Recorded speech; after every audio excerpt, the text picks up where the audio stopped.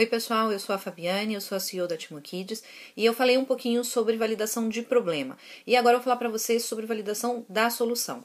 Por quê? Porque é importante, antes que você construa um, um produto que tenha que você tenha que despender é, recurso, tempo, é, que você entenda, que você consiga comprovar de que existe mercado e que existe possibilidade de faturamento, de receita, de, de é, viabilidade daquela ideia na, em termos financeiros. Então, isso é uma coisa que às vezes fica faltando é, para os empreendedores iniciais e acabam antecipando, pulando essa etapa e constroem uma Ferrari, às vezes, para alguém que precisaria só de uma bicicleta. Então é muito importante quando você tem, é, detecta o problema, você entender ele, né? E para isso é importante a validação inicial. E a partir do momento que você entendeu, você conseguir, junto com o teu público-alvo, é, achar a, a, solução ideal para aquele problema. E às vezes isso pode ser uma, uma solução muito simples, ela não precisa ser algo grande, algo que tenha, de repente, a necessidade de muitos meses de desenvolvimento. E é importante você também conseguir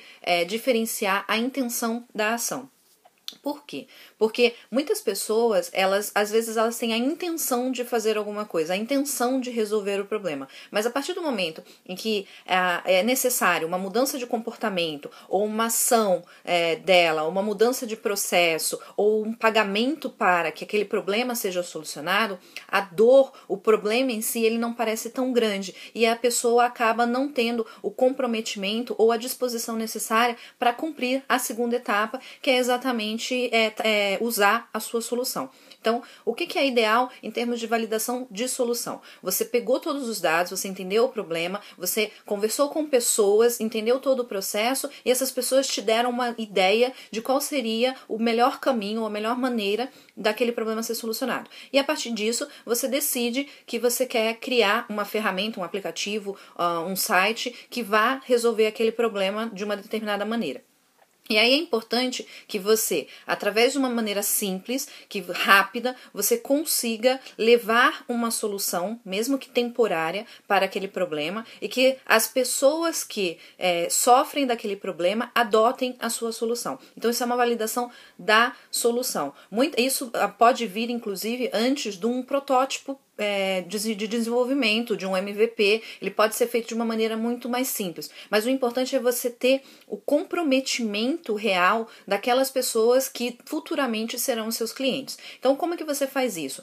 Você cria uma nova forma de perguntar, de apresentar aquilo que você entende que vai ser a solução e volta para falar com essas pessoas e deixa que essas pessoas te digam quais são as adaptações, quais são as mudanças que vão ser necessárias, ou se aquilo vai funcionar ou se aquilo não vai funcionar. E possivelmente que elas já se comprometam de alguma forma a utilizar aquela solução. Nesse caso, não é tão importante a precificação, não é importante que você comece a cobrar uh, pelo teu produto, né? É o que você tem uma receita exorbitante ou a receita real daquilo que você queria. Às vezes você quer fazer, um, por exemplo, um site de classificados e você vai cobrar é, 19 reais por mês para a pessoa ter um destaque. A pessoa, de repente, não precisa pagar os 19 reais, mas se você conseguir, através é, da validação de solução, falar com aquela pessoa, mostrar aquilo que você está propondo, como vai ser, e fazer com que ela se comprometa, ou a utilizar aquilo, né, é, futuramente, pagar por aquilo, ou inclusive pagar, mesmo que seja um um real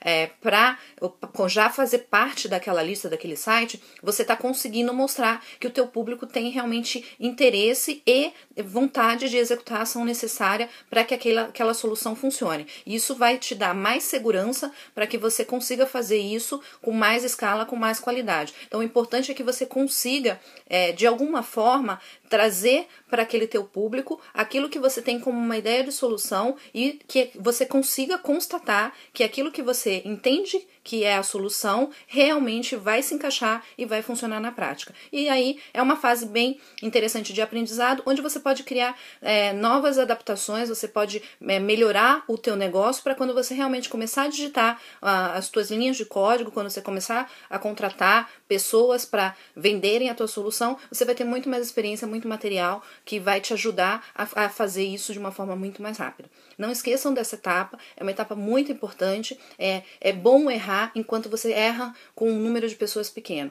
e que você ainda está numa fase inicial onde você não teve um investimento tão grande de tempo, de dinheiro para chegar nessa etapa e entender melhor qual que é o produto que você tem que fazer. Eu espero que eu tenha ajudado vocês e que a gente se encontre bastante por aí. Um abraço.